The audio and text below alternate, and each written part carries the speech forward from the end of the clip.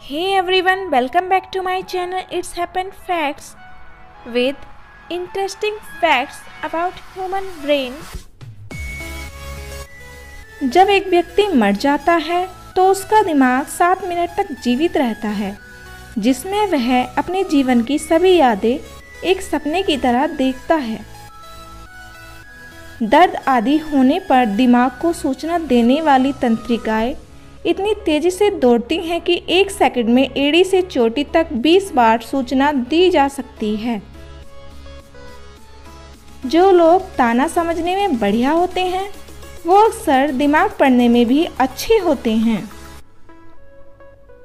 आपके दिमाग की राइट साइड आपकी बॉडी के लेफ़्ट साइड को, जबकि दिमाग की लेफ़्ट साइड आपकी बॉडी के राइट साइड को कंट्रोल करती है।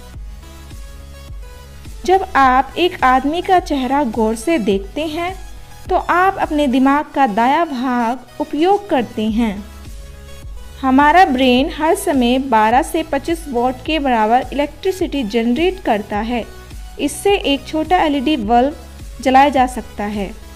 दिमाग का आकार और वज़न दिमाग की शक्ति पर कोई प्रभाव नहीं डालता। एल्बर्ट आइंस्टीन के दिमाग का वज़न 1230 ग्राम था। जो कि सामान्य मनुष्य से कहीं कम था।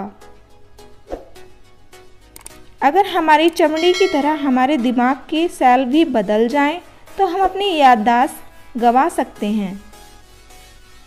ह्यूमन ब्रेन में 75 से 80 प्रतिशत तक पानी की मात्रा होती है। बॉडी में पानी की कमी होने पर ब्रेन सही तरह से काम करना बंद कर देता है।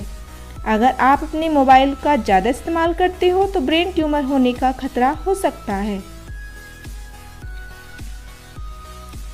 मन और दिमाग, दो अलग अलग चीज़ें हैं। मन दिमाग के किस हिस्से में है, अभी तक इसका पता नहीं चल पाया है।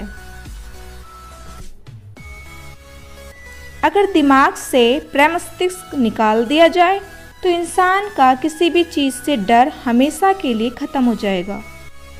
दिमाग को चार से छः मिनट तक ऑक्सीजन न मिलने पर भी यह रह सकता है, पर पाँच से दस मिनट तक न मिलने पर ब्रेन डैमेज पक्की है।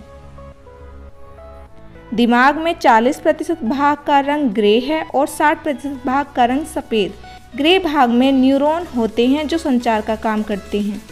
ब्रेन का साइज़ लगातार कम होता जा रहा है। पिछले बीस हज़ार सालों में इसका आकार टेनिस बॉल जितना घट गया है।